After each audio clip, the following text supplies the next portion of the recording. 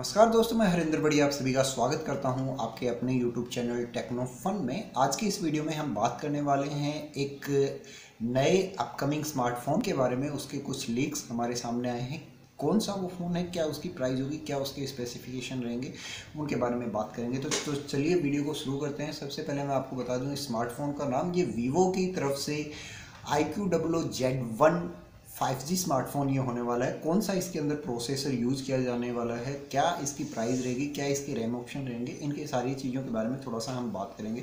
तो सबसे पहले आपको बता दें कि इसके अंदर जो प्रो प्रोसेसर यूज़ किया जा रहा है एसओसी यूज़ किया किया जा रहा है, वो मीडिया की तरफ़ से डायमेंसिटी थाउज़ेंड प्लस जो है वो प्रोसेसर इसके अंदर यूज़ किया जा रहा है। इसके अंदर ये 5G सपोर्ट करेगा। इसके अलावा जो है इसकी बैटरी जो है वो थोड़ी सी और बड़ी होने वाली है। यानी तकरीबन लगभग हो सकता है कि हमें 5000 हज़ार की बैटरी इसके अंदर देखने को मिले। इसके अंदर हो सकता है हमें U F S three point one storage type हमें देखने को मिले और L D D L D P sorry L P D D R five frame इसके अंदर हमें देखने को मिले। इसका जो बेस वेरिएंट है वो six G B one twenty eight G B के साथ हमें देखने को मिल सकता है। वैसे इसके अंदर जो है एट जी बी रैम और two fifty six G B storage variant भी हमें देखने को मिलेगा। यदि बात करें इसकी डिस्प्ले की तो इसकी जो डिस्प्ले का रेजोल्यूशन होने वाला है, वो रहेगा वन फोर्टी फोर हर्टेज और यदि रिफ्रेश रेट के साथ ये हमें मिलने वाली है और यदि इसकी डिस्प्ले साइज़ की बात करें तो इसके अंदर जो है हमें 6.67 इंच की डिस्प्ले साइज़ हमें देखने को मिल सकती है with the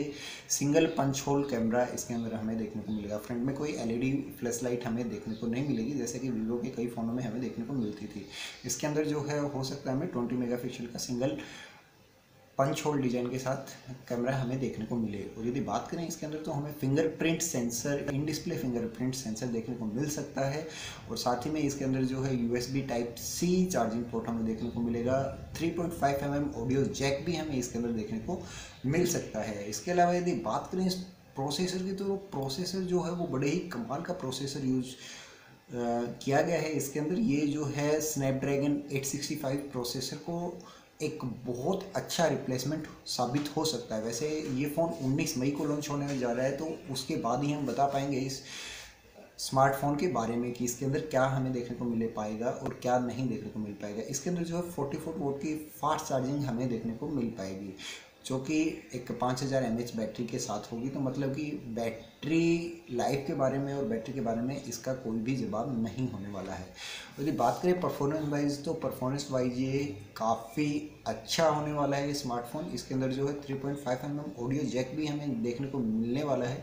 ये काफ़ी अच्छी बात है। और ये बता दूँ कि वीवो की तरफ़ से ये पहला स्मार्टफ़ोन होगा जो मीडिया का प्रोसेसर यूज़ करेगा। और जो media MediaTek Dimensity thousand plus है, उसके साथ जो है ये पहला स्मार्टफ़ोन आने वाला है, इस चिपसेट के साथ, यानी इस प्रोसेसर के साथ। इसके अलावा इसके जो प्राइस की यदि बात करें तो इसकी एक्सपेक्टेड प्राइस जो है, वो हमें देखने को मिल सकती है लगभग चालीस हज़ार रुपये के आसपास में, पैंतीस से चालीस हज़ार रुपये के आसपास में।